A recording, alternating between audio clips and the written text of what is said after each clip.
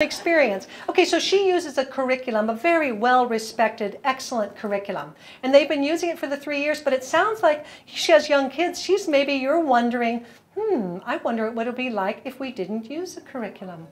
Right? And when the younger ages, you don't need a curriculum. Like high school is a different game, and I'm going to lead a workshop tomorrow at 11.30 about homeschooling high school, um, dispelling the myths. But when they're younger, you can unschool, you can do the eclectic, you don't have to have a curriculum. So maybe you're brave. Or if you want to have some kind of, okay, and that, and I'm so, yes, and I'm so glad you said that because you get to honor, you get to trust yourself and your own comfort level. So it sounded like you said, we like some things about that curriculum, but other things we don't. So maybe that's your leap of faith. Having a family meeting you know, and talking about say, hey, you know, we've been using this curriculum. Which parts do you think are working really well? Which parts do we want to continue using? Which parts do we think that maybe are not the favorite? Doesn't mean there's anything wrong with that curriculum. It may mean that it's just not a good fit for that child's learning style or interest or where they are.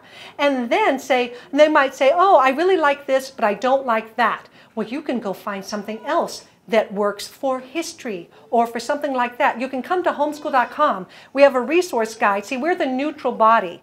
So we, we have links to all the curriculum, all the learning resources out there. So have that meeting. Maybe that's your just your little tiny leap of faith. Is that you keep what's working and then you, you substitute in something else. And remember, eclectic homeschooling is used by 80% of homeschoolers. It's the most popular style because it's personalized. You know, so use the structure that you need, as much curriculum as you need, but test out the other stuff. Trust yourself, trust your kids. So when you say it's not working, yeah. Um, does that mean we're not having fun and liking it, or does that mean they're not reading and writing in cursive and that sort of thing? Because in my mind, I oh, think it's not working. Yeah. I'm like, well, they're doing these things. Yeah.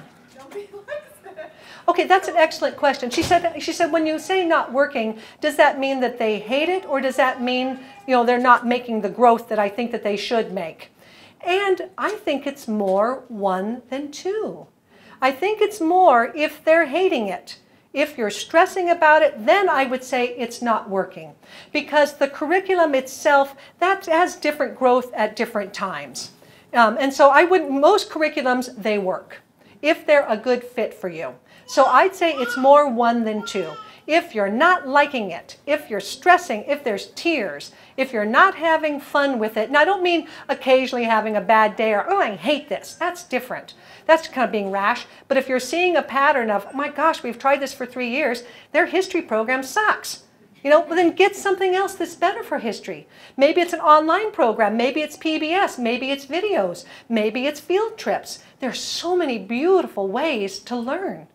You know, so many reading programs, so many math programs, don't chain yourself to just one because it puts a lot of pressure on that curriculum too, right? It's pretty hard for them to be great at every subject. That's kind of that school in a box mentality. But remember, we don't have to.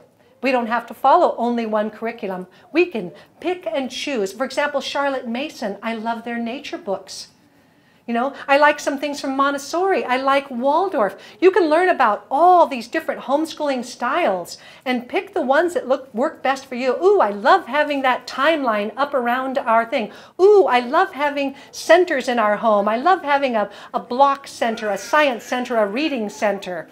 Change, uh, experiment with all these different things because you're not, odds are, you're not going to use the same method all the way through. You're going to be changing all the time, so don't be afraid to change. Yeah. Yeah, and I think it is. If they're hating it, it's not working. That's great. Any other questions? How are we on time? Okay, we have two minutes. Okay, so last activity right before you go. Close your eyes. I'd like you to do a visualization because visualizations, visualizing works. You've probably read stories about POWs who were imprisoned. And to keep themselves sane, they visualized themselves playing the piano or playing golf. And then when they were, when they were released, their piano playing was better, and so was their golf playing, even though they never picked up a, you know, a set of clubs and they didn't have access to an instrument. So now I want you to visualize in a perfect world, what does your homeschooling look like? What does it feel like? What does it smell like? What does it sound like?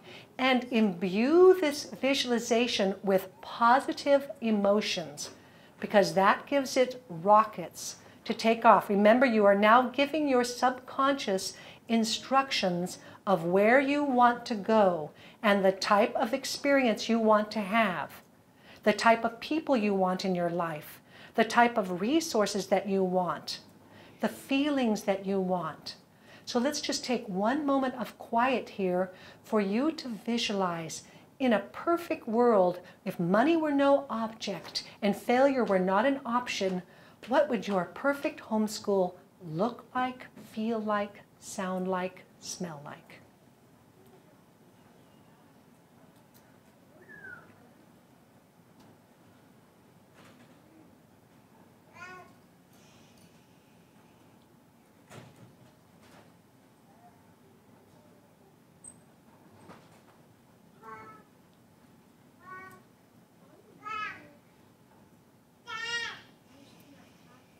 I see a lot of you smiling.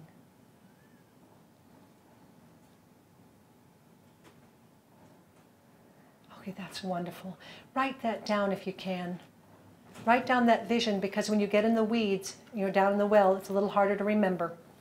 So try to write that vision and maybe even find some kind of a little token, something that reminds you of it. Is it a smiley face? Is it a heart-shaped rock?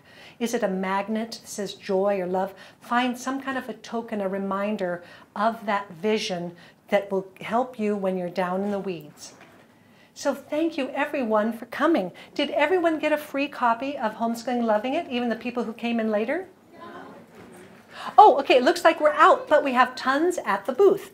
So if you come on by, it's booth 701, the homeschool.com booth. I would love to meet with you. Tons of time this whole weekend if you have any questions, and I'll autograph your book for you because it'll be worth a million dollars one of these days. And thank you everyone for sharing. I really appreciate it.